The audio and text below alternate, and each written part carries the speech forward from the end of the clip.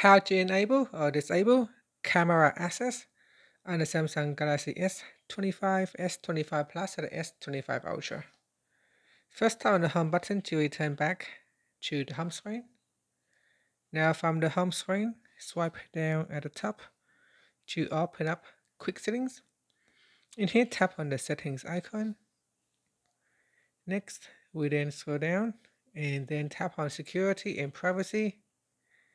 After that, scroll down to the bottom and tap on controls and alerts. Now at the top, tap on camera access. Tap on the toggle button to switch it off. Then tap on block or you can switch it on. And that's it. So this will allow apps to use the camera if they have the appropriate permissions. Finally, tap on the home button to return back to the home screen. If you find this video helpful, please like and subscribe to my channel for more videos.